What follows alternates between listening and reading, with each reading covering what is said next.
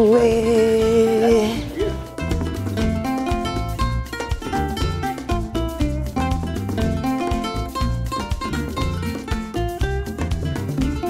Papa. Good morning, How are you? Good, good. Molweni, welcome to Ivy's Kitchen, hearty South African food made with love. You are welcome.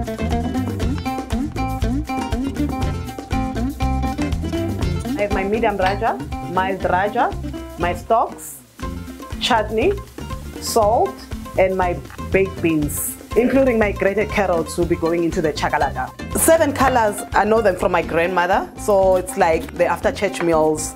We'll have your pumpkin, your cabbage, your spinach, your beetroots, and chakalaka, I guess it was there, but it was not that popular. Basically, my food that I prepare in the kitchen, it's more like seven colors. I always encourage people to come and have those seven colors at Ivy's Kitchen.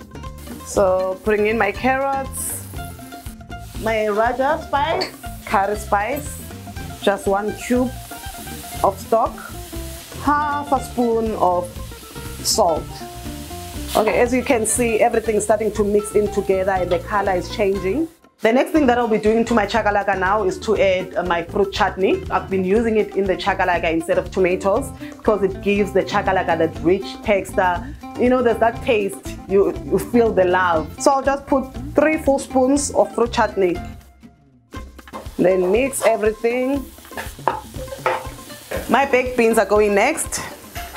Three big spoons Chakalaka is it's a South African salad. I'll call it a salad. Some people they say there's no braai without pap and chakalaka. On my side, I say there's no uh, seven colors without chakalaka, so it has to be there always.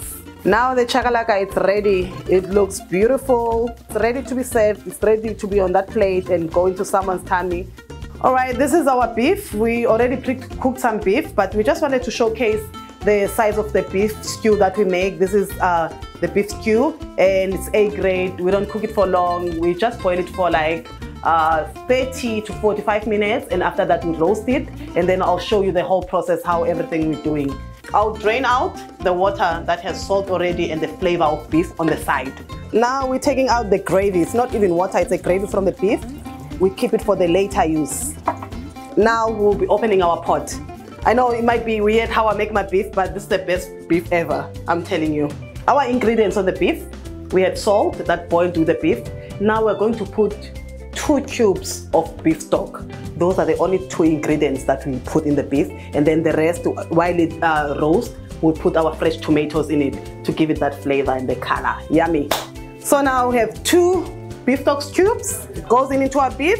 Remember, we've taken out the gravy crush our beef stock so that they can be all over the meat and then we just mix everything together.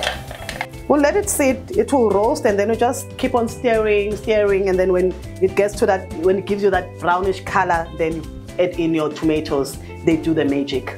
Oh, we forgot, we put a pinch of love. When I grew up, we never made our pap like this. But the reason of making the pap like this, because I'm trying to avoid to have the lumps in the pap. Okay, maize meal mixed with water into the boiled water starting to get the thick texture. Then just have to make sure that there are no lumps in it. What we're going to do next is put our tomatoes. They go over into our beef. And then we mix everything. So now we'll be going back to our pap. Remember we had to let our pap to simmer, you know, to, or to boil for about 10, 5 to 10 minutes. You can even see the way how it changes while I'm stirring. So now we'll close it so that it can simmer. Ah.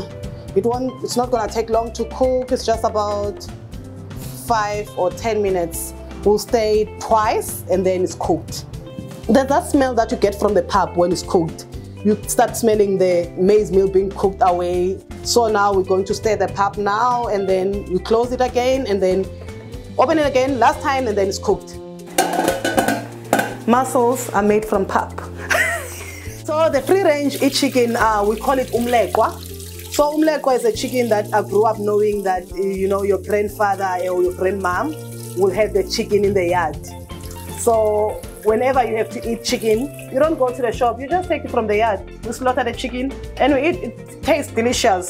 So that was one of the food, you know, African food and something that we thought we should introduce at Ivy's Kitchen as part of the African or South African meals, umleqwa. So now put our salt so that it can, um, you know, cook with umleqwa.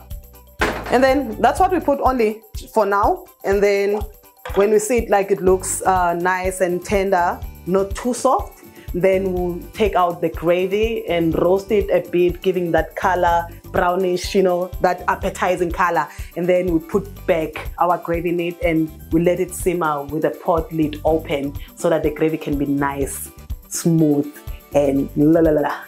All right, now we're preparing our tripe. Uh, it's a sheep tripe. It is very important to wash it. It needs thoroughly washing because it has sand and you need to make sure that you don't serve food when the customer they take a bite the face doesn't look nice it's like they've eaten lemons so you need to make sure that you clean it it, it needs time it needs patience so now our tripe is almost ready it's about to go into the pot and we're going to boil it but this is our life in the kitchen we don't, we don't just do this we do this every day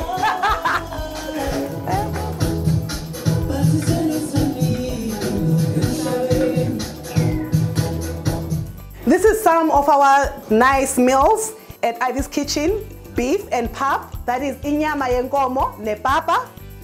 Ulusu and isonga samanzi, that is fried and steamed bread. Umngqusho and imleqwa, that is hard body chicken and samp and beans. Thank you so much for cooking with Ivy's Kitchen. Until next time,